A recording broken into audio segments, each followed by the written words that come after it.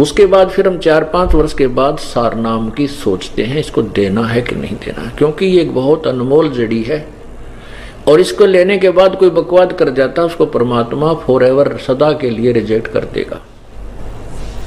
अब परमात्मा क्या कहते हैं? राम नाम कड़ुआ लागे, ये मीठे लागे दाम। दुष्दा में दोनों गए, भाई माया मिली ना राम अब इन बातों को हमने बहुत गहराई से मनन करना है। सत्संग सुनने के बाद इनके ऊपर मनन करना चाहिए। ज्ञान सुनते हैं और उसके ऊपर मनन करके फिर अनुसरण करते हैं तो हम सफल होंगे, अवश्य होंगे। पुण्यात्माओं जो बच्चे अभी जो श्रोतागण अभी आए हैं, कोई दो वर्ष से, कोई तीन वर्ष से, कोई चार वर्ष से। और जो उससे पहले के अभी तक लगे हुए हैं, वो तो इस इन बातों से परिचित हो चुके हैं। और उन्होंने अपने सब क्रियाओं को चेंज भी कर लिया है, बदल लिया है। यदि कोई नहीं बदल पा रहा है तो कर्महीन है। बदल जब तक नहीं पाते जैसे ही हम कोई कार्य करने लगते हैं।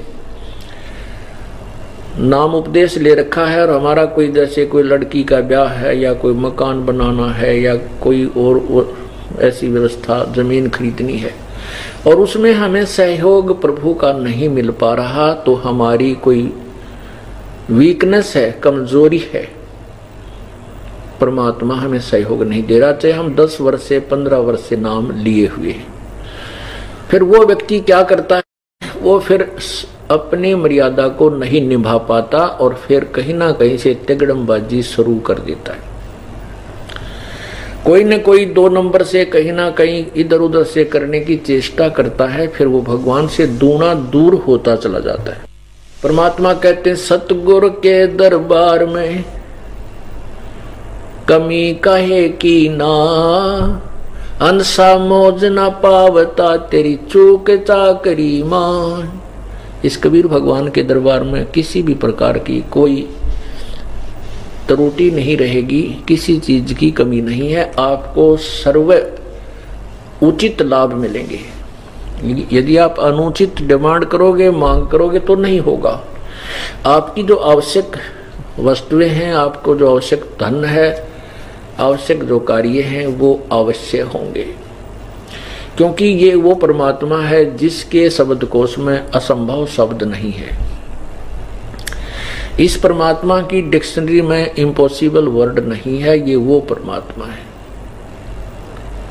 ये कबीर भगवान है, कबीर देव है।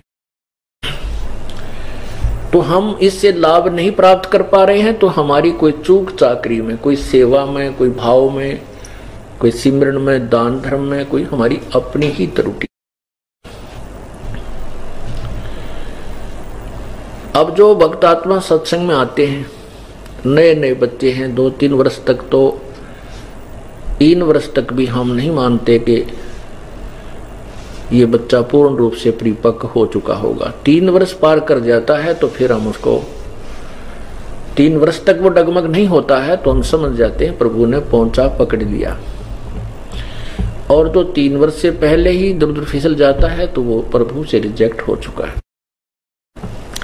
उसके बाद फिर हम चार पाँच वर्ष के बाद सार नाम की सोचते हैं, इसको देना है कि नहीं देना है। क्योंकि ये एक बहुत अनमोल जड़ी है। और इसको लेने के बाद कोई बकवाद कर जाता है उसको परमात्मा फॉर एवर सदा के लिए रिजेक्ट कर देगा।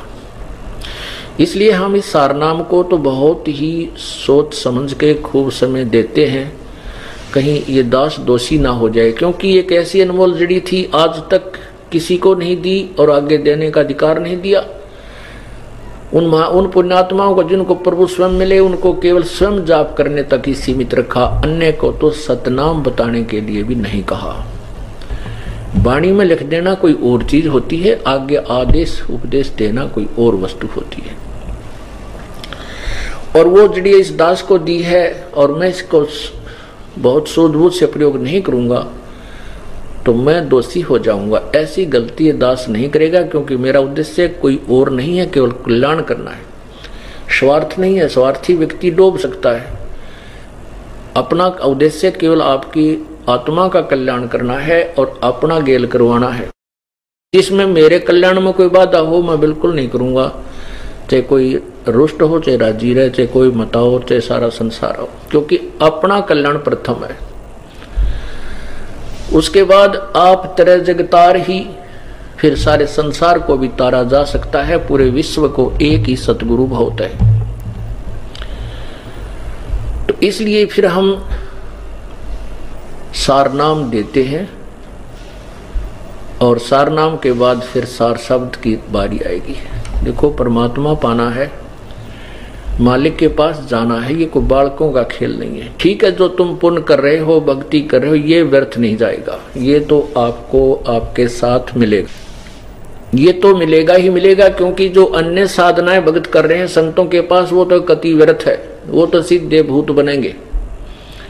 अन्य योनियों में जाएँगे। और आपको जो सतनाम तक मिला है, मिल गया है तो भी आपको वो लाभ मिलेगा कि आप सोच भी नहीं सकते।